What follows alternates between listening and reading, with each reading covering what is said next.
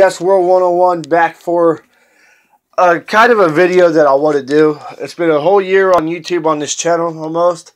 So with that, I'm gonna you're gonna I want you guys to cast your vote for hat of the year. These are hats that technically you've seen me wear in videos that you guys have liked, that have been one of the most popular hats of the days.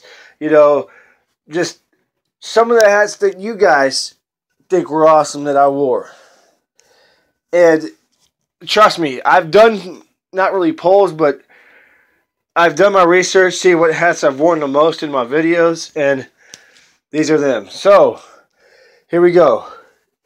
Your choices are Carolina Panthers, Indianapolis Colts Blue, Miami Marlins, Jose Fernandez, rest in peace, uh, Houston Astros 2015 postseason. Houston Astros alternate. St. Louis Cardinals junior merchandise baby blue and red.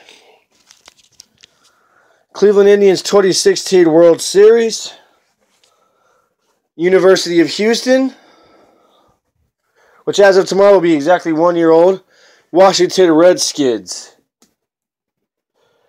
Toronto Blue Jays. My Jeff's World 101 fitted hat. My Golden State Warriors Kevin Durant. My Miami Heat hat. Snapback. And my Colt 45's hat with my grandfather's initials on it. So, I will announce the winner tonight after work. And that hat will be worn tomorrow on Christmas Day. Um, that's the honor for hat of the year is it gets to wear it gets to be worn for hat of the day. Um